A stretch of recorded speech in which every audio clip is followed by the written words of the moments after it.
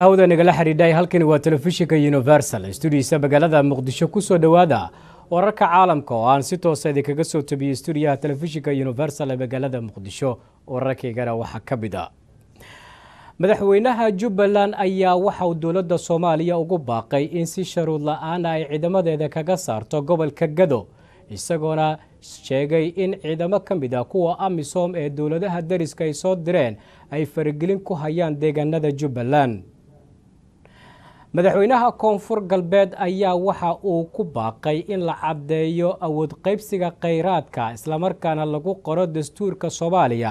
Xilli shir arrimaha lagaga hadlaya maanta lagu qabtay magaalada baydhabo. Golaha wakiilada somalilanna maanta waxa ay meel mariyeen wax kabeddelka xeerka isgaarsiinta somalilan. Warbixinada kale ee xiisaha leh aan caawa idin haynana waxaa ka mid a nin ka mid a dadka aan lixaadka aan dhammaystirneen ayaa magaalada muqdisho waxa uu maalin walba ka sameeyaa shaqooyin uu noloshiisu ku maareeyo. Wararka dhanka dibaddana waxaa ka mid a dhaxal sugaha boqortooyada sacuudi carabiya ayaa amar ku bixiyey in saddex sargaal oo sare oo ka tirsan qoyska boqortooyada in xabsiga loo taxaabo intaasi waa qaar ka mid a qodobada warka. U diyaar garooba warkaasi oo fidsan aan idiisii akhriyo warkii oo dhan waxaana xilligaa idiin warramaya anigoo ah cabdicasiis okey aan ku bilaabay madaxweynaha dowlad goboleedka jubbaland axmed maxamed islaam madoobe ayaa dowladda federaalk ee soomaaliya ugu baaqay in si sharuud la'aana ay ciidamadeeda kaga saarto gobolka gado waxaana uu sheegay in faragelin ciidan oo markaasi ka timid kuwa amisom dowladaha ay soo direen dowladaha dariska qaarkood ay soo direen ay ka jiraan deegaanada jubbaland sida uu hadalka u dhigay madaxweyne axmed madoobe. Warbixintan waxaa magaalada kismaayo ka soo diray wariyeyga iidle aadan maxamed madaxweynaha dowlad goboleedka jubbaland axmed maxamed islaam ayaa maanta furay kalfadhiga labaad ee baarlamaanka dowlad goboleedka jubbaland. Munaasabadda furitaanka kalfadhiga labaad ee baarlamaanka waxaa goobjoog ahaa. Madaxweyne ku-xigeenka labaad ee jubbaland xubno ka tirsan labada gole ee dowladda xildhibaano iyo odayaasha dhaqanka iyo qeybaha kala duwan ee bulshada. Madaxweyne axmed maxamed islaam oo ka hadlay munaasabadda kalfadhiga labaad ee baarlamaanka jubbaland ayaa ka hadlay xaaladda siyaasadeed ee dalka arrimaha doorashooyinka iyo dhaqdhaqaaqyada ay dowladda federaalk soomaaliya ka wada gobolka gedo dhulkii shalay xorta ahaaba maanta gacantiisa ku wada jira. Jubbaland markaan u soo noqdo markaa iyo dhibaatooyinka dowladdu ay ka geysatay ilaadan maxamed tv-ga universal magaalada kismaayo. Isla wararka arrimaha jubbaland ayaan ku guda jirnaayey warar goordhow inaga soo gaaray gobolka gado. Ayaa waxa ay sheegayaan in wasiir ku-xigeenkii wasaaradda arrimaha gudaha ee dowlad goboleedka jubbaland maxamed xuseen uu isku dhiibay dhinaca dowladda federaalk ee soomaaliya. Wararkaasi ayaa goordhow inaga soo gaaray magaalada baled xaawo ee gobolka gado waxaana laga soo warinayaa in wasiir ku-xigeenkii arrimaha gudaha ee dowlad goboleedka jubbaland uu isku dhiibay islamarkaana oo barbar maray dhinaca jubbaland oo uu markaasi ku saf noqday dhinaca dowladda federaalk ee soomaaliya. Maalmihii dambe waxaa jirtay xiisad xoog leh oo u dhexaysay dowladda federaalk ee soomaaliya iyo maamul goboleedka jubbaland. Wixii warar ay ku soo kordhana wararkayga dambe ayaan dib ilka soo socodsiin doonaa haatanna baydhabo. Madaxweynaha koonfur galbeed ee soomaaliya cabdicasiis xasan maxamed laftagareen ayaa maanta ku dhawaaqay in loo baahan yahay in qabyo qoraalka dastuurka soomaaliya lagu caddeeyo awood qaybsiga khayraadka waddanka xilli maanta magaalada baydhabo uu ka qabsoomay shir lagaga hadlayay dhammaystirka dastuurka soomaaliya kaasi oo ay gardaadinaysay wasaaradda dastuurka xukuumadda soomaaliya iyo guddiyada arrimaha dastuurka ee dowladda.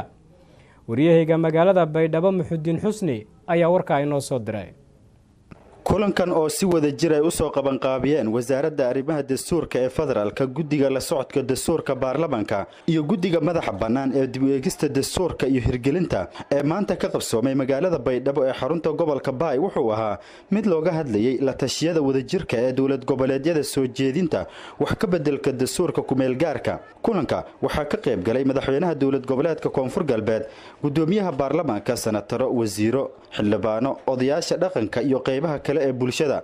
Kulanka intii uu socday waxa uu ahaa mid looga hadlayay dib u eegista dastuurka qaybtiisii labaad wax ka bedelka iyo cutubyada lagu soo kordhiyay ee ka hadlaya arrimaha dowlad goboleedyada dalka iyo dhaqanka soomaalida.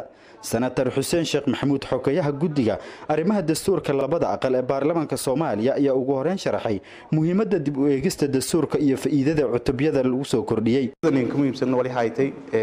gaarsiinta intuun hasan deersin dukumentigii qabyo qoraalkii wax kabedelka dastuurka laakasuubi oo lamansan oo kale hay'adaha dastuurka ku shaqeeyeen heer federaal lafadow diyaaran ay intii taladii ka darsadan shacabka maamulada dowlad goboleedyada iyo guud ahaan siyaasiyiinta soomaalidaba.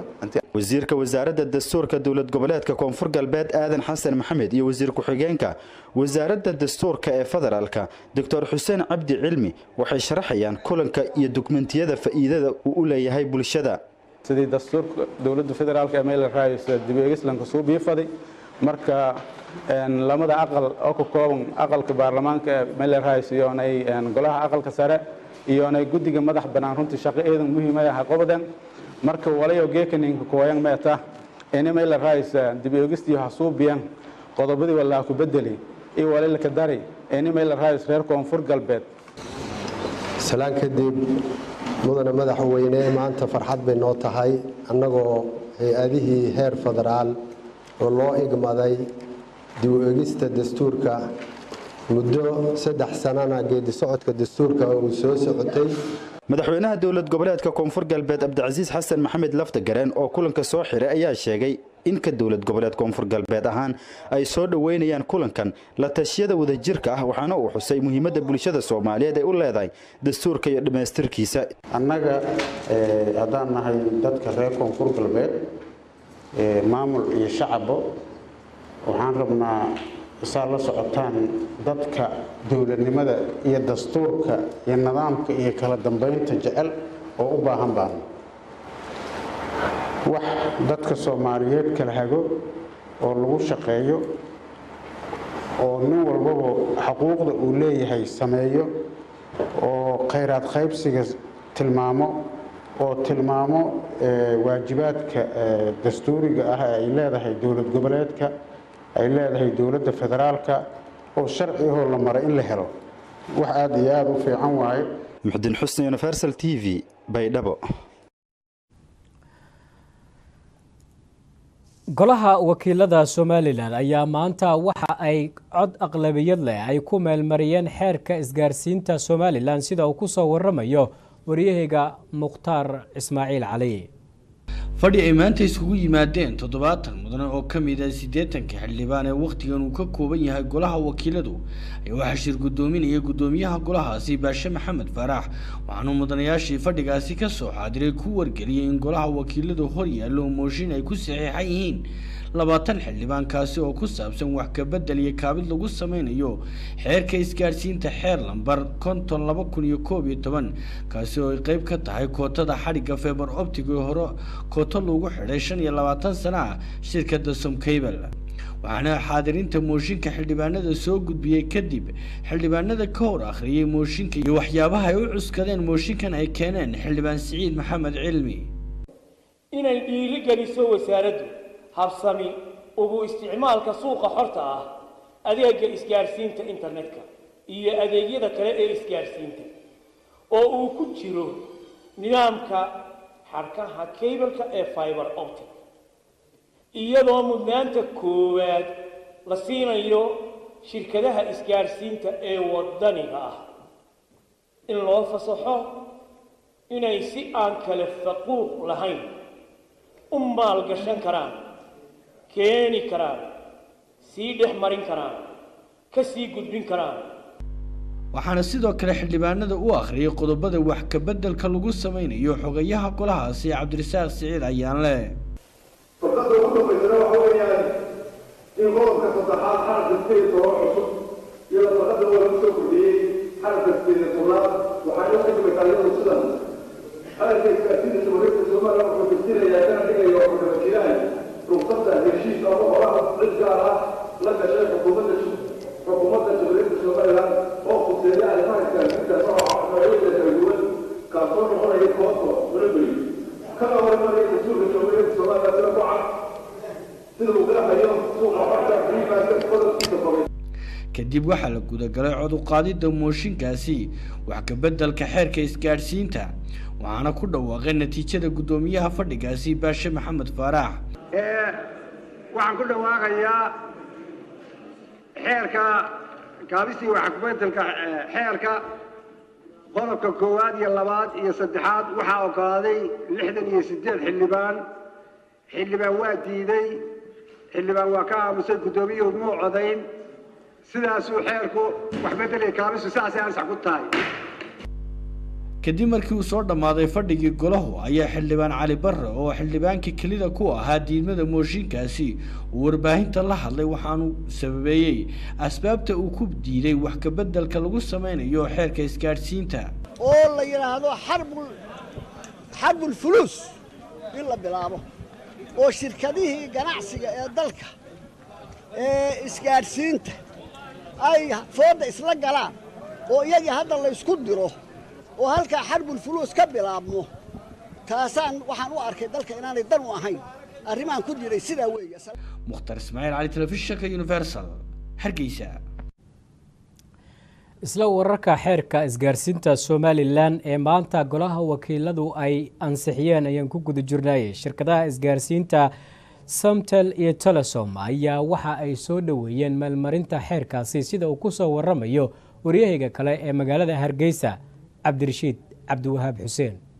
Kadib markii maanta golaha wakiilada somalilan cod aqlabiyada ay ku meelmariyeen xeerka wax kabeddelka isgaadhsiinta somalilan ayaa waxaa maanta arrintaasi war-saxaafadeed ka soo saaray islamarkaana soo dhoweeyey shirkadaha isgaadhsiinta somalilan ee samtal iyo telesom iyo weliba ururka ay ku midaysan yihiin shirkadaha isgaadhsiintu war-saxaafadeedka ay soo saareen labada shirkadood ee samtal iyo telesom ayaa waxaa u dhignaa sidan. Shirkadaha isgaadhsiinta somalilan ee telesom iyo somtal waxay bogaadinayaan. Golaha wakiilada somalilan tallaabada wax kabeddelka iyo kaabista ee ay ku sameeyeen. Xeerka isgaadhsiinta somalilan xeer lambar konton isla labada kun koob iyo toban. Isbeddelkaasi oo ka turjumaya mabaadi'da suuqa xorta ah ee isdastuurkeenu jideeyey waxaan u aragnaa tallaabo loo qaaday dhinaca horumarka dhaqaalaha iyo tiknolojiyadda dalka. Sidoo kale waxaan u mahadnaqaynaa madaxweynaha jamhuuriyadda somalilan iyo wasaaradda isgaadhsiinta ee tiknolojiyadda dadaalka ay ugu jiraan. Sarreynta dastuurka sharciga iyo horumarinka dhaqaalaha iyo tiknolojiyadeed ee dalka jamhuuriyadda somalilan war-saxaafadeedyadaasi ayaa waxaa ku kala saxeexnaa cabdinaasir daa'uud guuleed maareeye ku-xigeenka somtel iyo weliba injineer cabdirashiid muuse iimaan xubin guddiga maamulka guud ee boorka shirkadda telesom saxaafadeedka ay soo saareen ururka ay ku midaysan yihiin shirkadaha isgaadhsiinta somalilan ee loo soo gaabiyo sato ayaa waxaa uu dhignaa sidan ururka ay ku midaysan yihiin shirkadaha isgaadhsiinta somalilan ee sato waxa uu arkaa go'aanka wax kabeddelka xeerka isgaadhsiinta somalilan xeer lambar konton laba kun koob iyo toban ee golaha wakiiladu inuu yahay mid dan ay ugu jirto suuqa xorta isgaadhsiintu waa isku xidhka waddanka gudihiisa iyo dibaddiisa. In la helo feber optic shirkaduhu u siman yihiin. Waxa uu keeni doonaa kow in uu kobciyo awoodda tiknolojiyadeed ee shirkadaha waddanka. In uu abuuro in waddanka oo dhan ay sugnaato isku xidhnaantiisa oo laga soo kaban karo cillad kasta oo timaada inay yaraadaan kharashaad badan oo shirkadaha kaga bixi jiray tiknolojiyadaha isku xidhka sida microwefka oo qiimuhu qaali yahay sidaa daraaddeed waxaan u aragnaa go'aankaasi mid loo baahnaa oo dan ugu jirto cid kastoo shirkadda qaranka iyo macaamiishaba. Waa mid waafaqsan dastuurka jamhuuriyadda somalilan oo damaanad qaadaya suuqa xorta. Go'aankani waxa uu ka dhigi doonaa berbera in ay noqoto xarunta ugu weyn ee isgaadhsiinta feber optica ee bariga africa allah mahadle injineer yuusuf axmed yaasiin cumar xaashi xogayaha guud ee ururka shirkadaha isgaadhsiinta somalilan cabdirashiid cabdiwahaab xuseen universal t v. Hargeysa mahadsaned cabdirashiid. Ku-xigeenka hogaanka nabadgelyada dowlad deegaanka soomaalida etoobiya ayaa waxba kama jiraan ku tilmaamay hadalla ka soo yeeray odayaasha beelaha hawiye islamarkaana ku eedeeyey ciidamada new booliska soomaalida etoobiya in ay dhac boob iyo dilalba ay ku hayaan dad degan deegaanada gobollada afdheer iyo faafan. Warkaasi waxaa magaalada jigjiga inaga soo diray wariyeyga ismaaciil ibraahim buurgaabo maxamed axmed gurey ku-xigeenka xafiiska nabadgelyada ee dowladda deegaanka soomaalida ayaa ka jawaabay eedeymo ee odayaal dhaqameed ku sugan magaalada muqdisho oo u hadlayey beel ka mid a beelaha degan deegaanka soomaalida ay u soo jeediyeen xogaga amniga ee xukuumadda deegaanka soomaalida. Maxamed axmed gurey ku-xigeenka hoggaanka nabadgelyada ee dowladda deegaanka soomaalida oo aan khadka taleefonka kula xidhiidhnay isagoo ku sugan magaalada adhisababa ee xarunta dalka ayaa sheegay in eedda ah in ciidamada booliska gaarka ee liyuuga ay dil dhaawac iyo barakac u geysteen beel gaara ay tahay midaan jirin isagoo ku tilmaamay eedahan hoggaanka dhaqanka ee beeshaasi ee muqdisho ka soo yeeray. Mid xaqiiqda ka fog.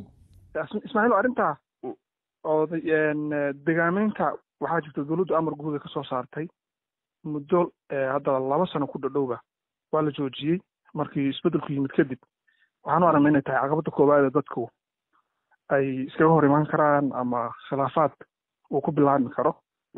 Marka saasaan taa u joojinay dadyowga meelaha qaarkood ka guurayana taasay la xidhiidhaa.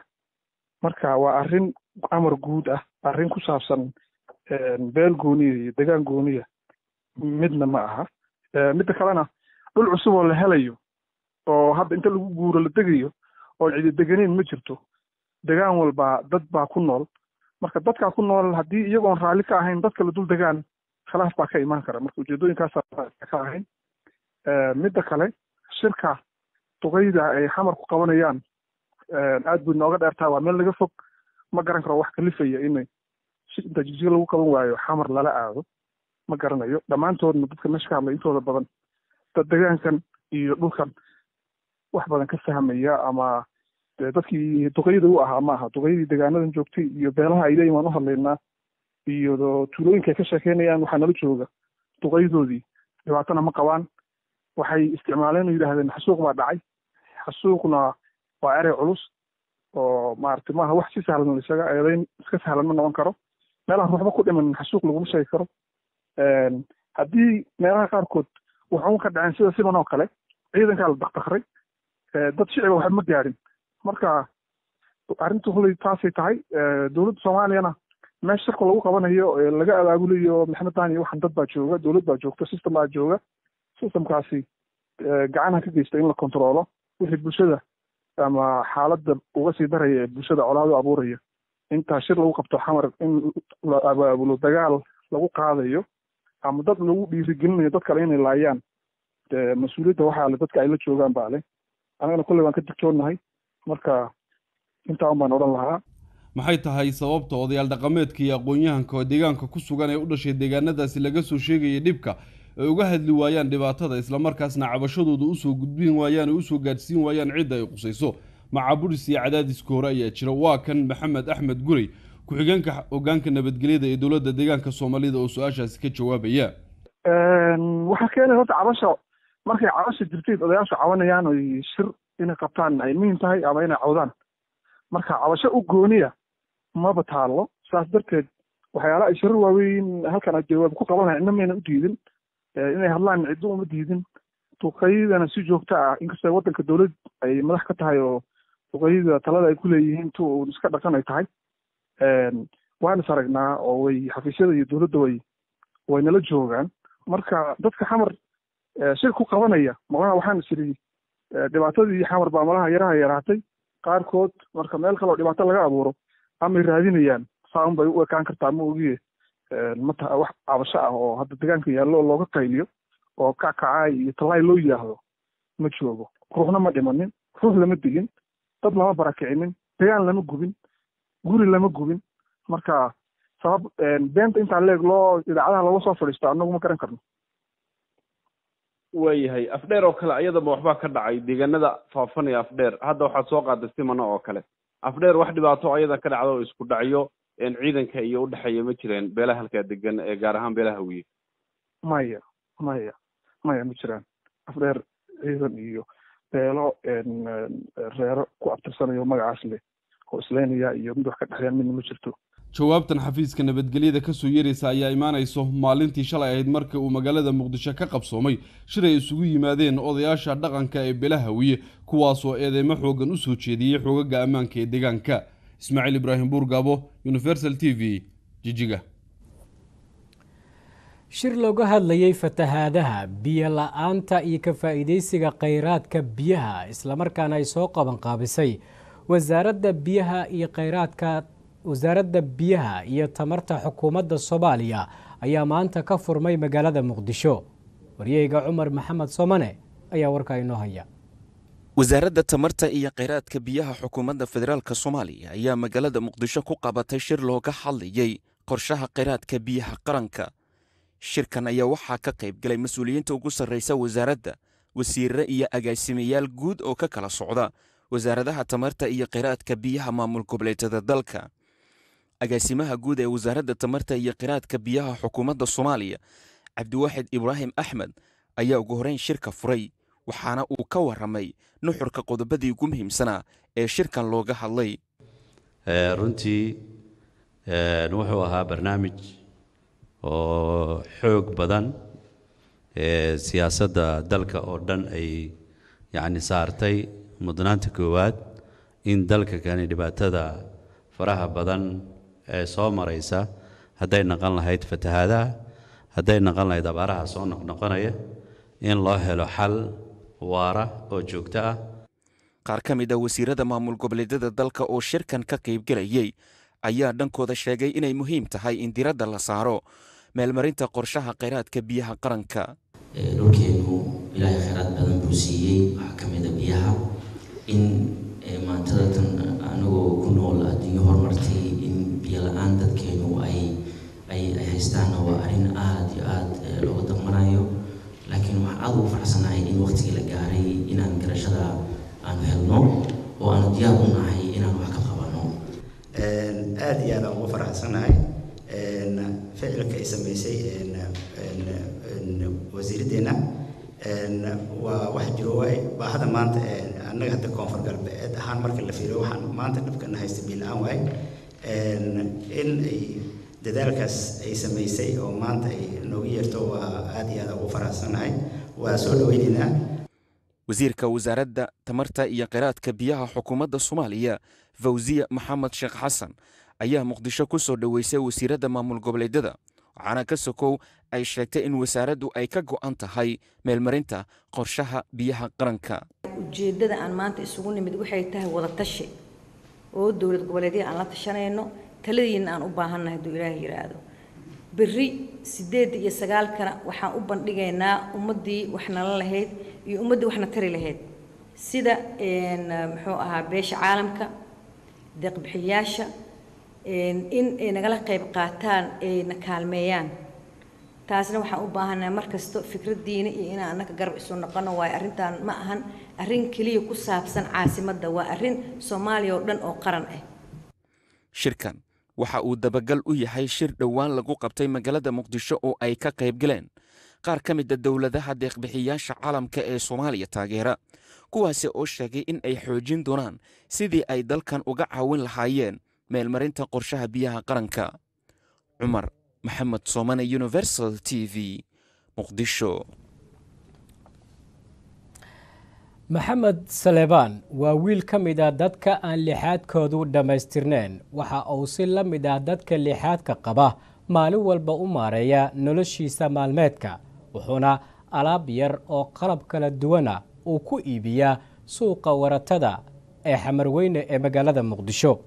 Maxamed cali weliye waryahayga ayaa u kuurgalay nolosha maxamed saleebaan warbixintan ayuuna inoogu diyaariyay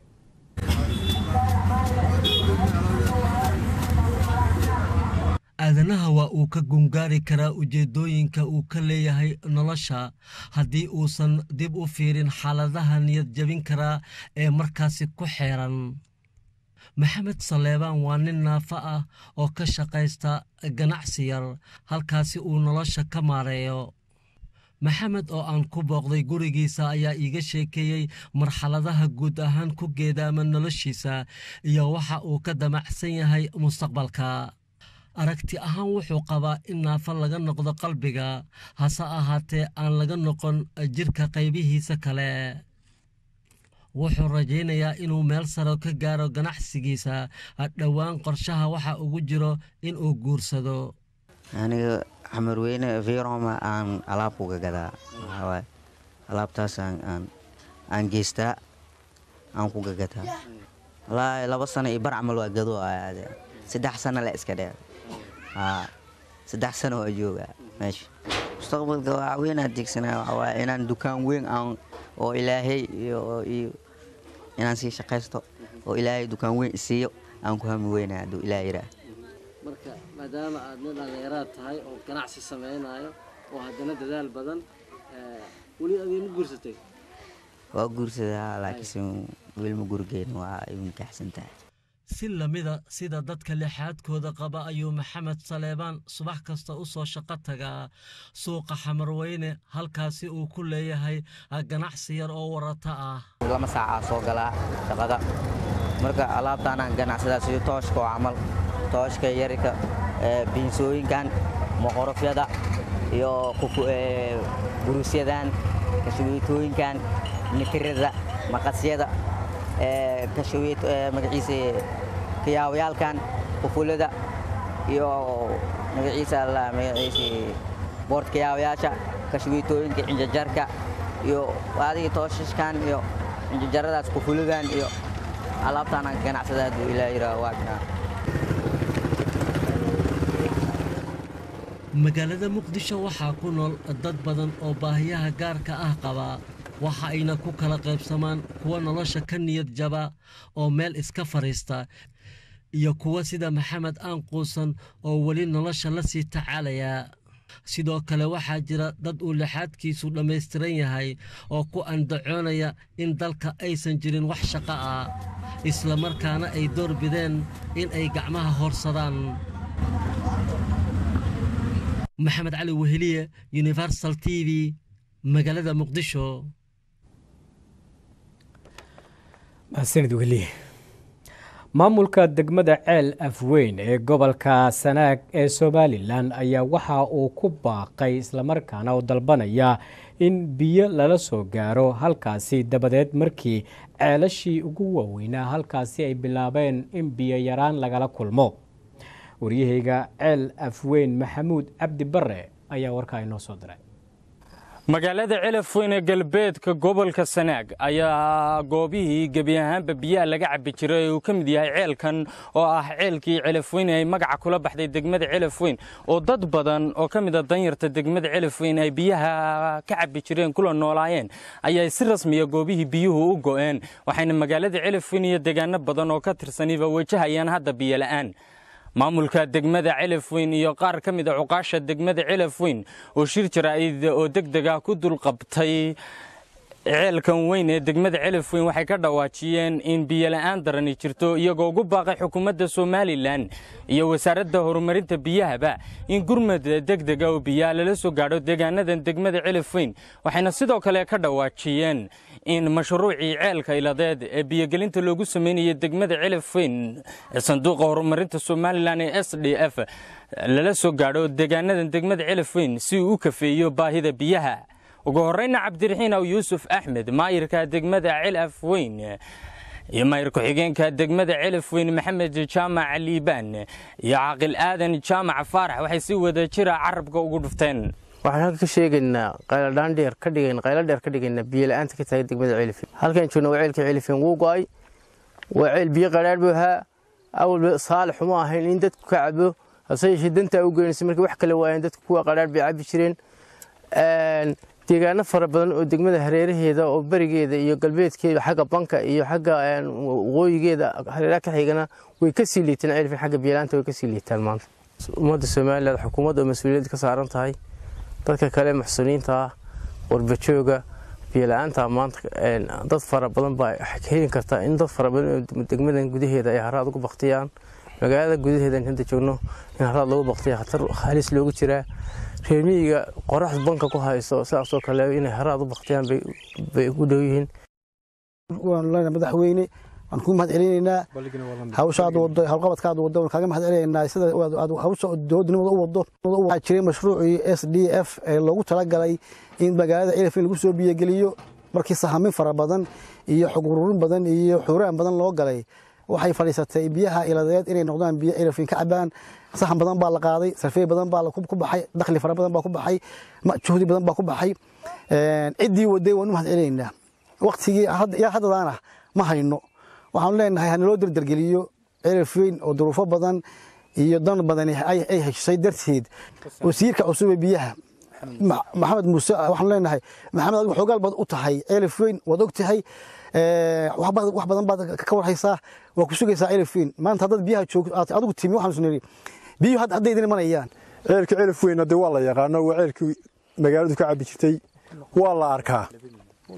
Sida ay hawshay ceelkaa biyola'aanta uga jirto waxaanu kaloo u sheegaynaa dowladda somalilan wasiirka biyaha iyo madaxweynahaba. Sanad walba dee waxa weeyaan biyo dhaamis ku qaylin mayne bajadkii loogu talagalay biyogelinta ahaa ee cilif weyn ahaa. Ee s d f ka sutuuqiisa loogaga talagalay. Dee waxaan rabnaa in la soo biyogeliyo. Sababtoo ah cidda hareeraha ku oomana cilif weyn way gaadhsiin kartaa waa looga dhaamin karaa. Iyana waa ku cabbaysaa ceelkanna waa ceel dabiiciyo dadkii ka batayoo hadda markuu gaaro waa go'aadee si kastaba ha ahaatee degmada celaf weyn oo ka soo kabanaysa colaado sokeeye oo ka socday afar sano ayaa hadda baahiyaha ugu daran ee ka jira waxaa ka mid ah biyola'aantan maxamuud cabdi barre t v-ga universal celaf weyn.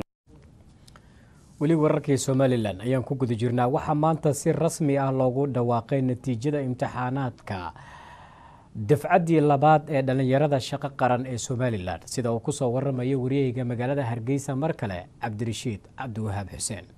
Waxaa maanta si rasmi ah loogu dhawaaqay natiijada imtixaanka dufcaddii labaad ee dhallinyarada shaqo qaran. Agaasimaha barnaamijka shaqo qaran maxamed xuseen cismaan mu'adinka ayaa maanta si rasmi ah u shaaciyey islamarkaana ku dhawaaqay imtixaankaasi maanta loo galay dufcadda labaad ee dhallinyarada shaqo qaran kuwaasi oo ka koobnaa dhallinyarada u fadhiistay imtixaankaasi dufcadda labaad saddex kun sagaal boqol saddex iyo sagaashan dhallinyara.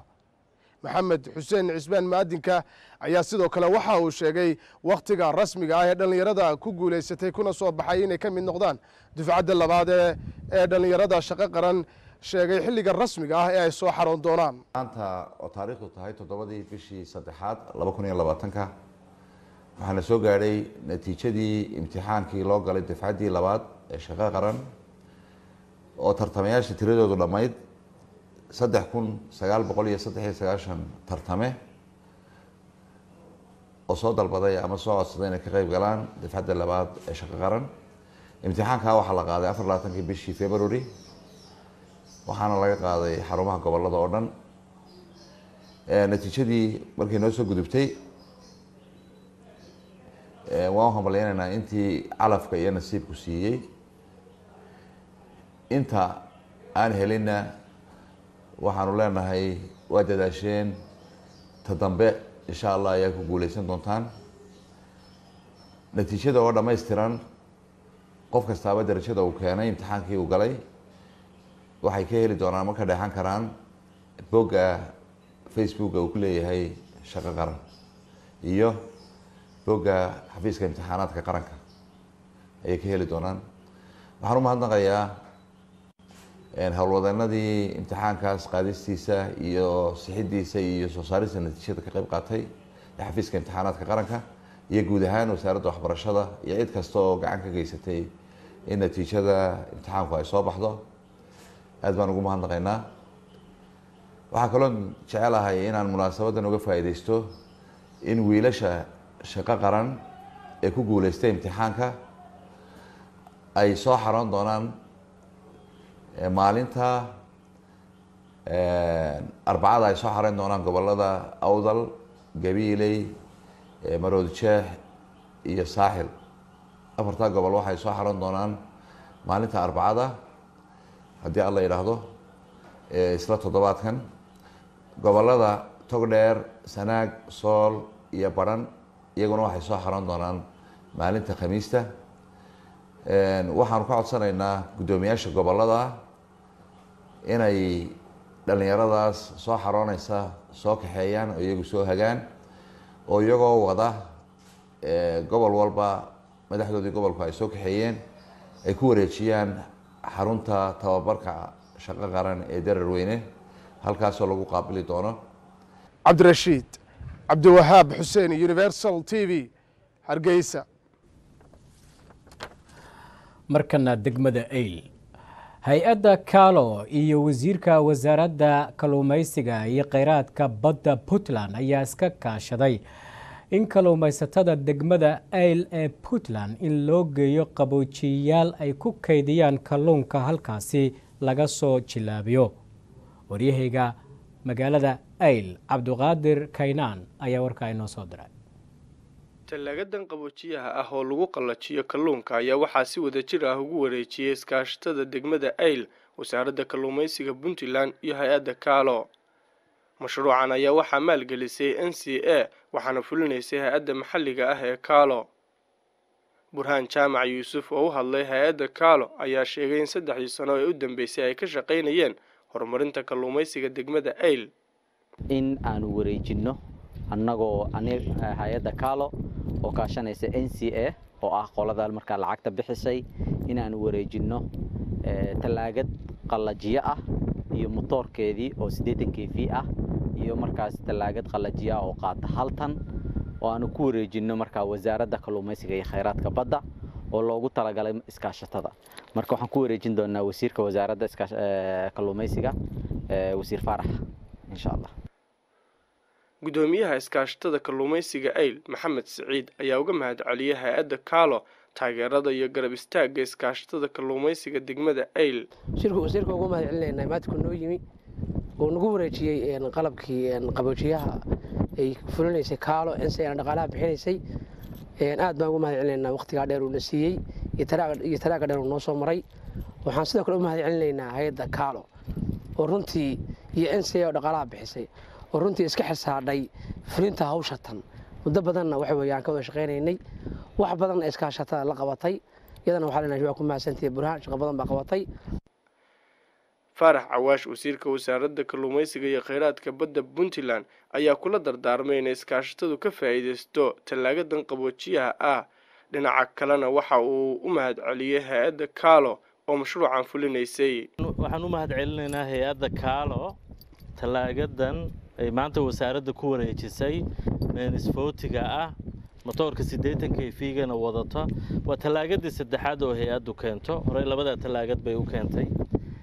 Waxaan ku wareejinay iskaashatada kalluumaysiga degmada eel. Waxaan hadda ku wareejinaynaa guddoomiyaha iskaashatada kalluumaysatada degmada eel furihii tallaagadan meenisfootiga ah iyo motoorka siddeetan k v ah oo aan rajeynayno inay maantay xoojin doonto tayadooda iskaashatadii waa sii ballaaratay dad cusub baa ku soo biiray oo kalluumaysato deegaanka ah oo maanta diyaara inay wax ku darsadaan la ganacsadaan.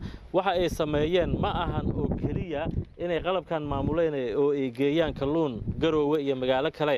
Xataa shaqo abuur bay u sameeyeen dadkii kalluumaysatada ahaa kalluunkii bay ka soo iibsadaan halkan ku broses gareeyaan oo ay sii gudbiyaan hay'adda kaalo ayaa iskaashatada kalluumaysiga degmada ayl horey ugu wareejisay laba tallaagadood oo mid tahay nooca kalluunka lagu kaydiyo iyo mid ah nooca lagu qaado.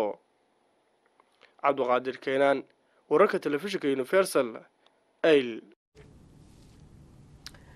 halka warkaasi aad kala socotaan daawadayaal waa telefishinka universal stuudiisa magaalada muqdisho. Markana wararka dibadda dhexal sugaha boqortooyada sacuudi carabiya ayaa amar ku bixiyey in saddex sargaal oo ka tirsan qoysaska boqortooyada sacuudi carabiya xabsiga la dhigo. Boqortooyada sacuudi carabiya ayaa xabsiga u taxaabtay saddex amiir oo ka tirsan qoyska boqortooyada wadankaasi tallaabada lagu xirxiray labada xubnahaasi ka tirsan qoyska boqortooyada ayaa la sheegay inay bannaanka u soo bixinayso awoodda dhexal sugaha wadanka sacuudi carabiya.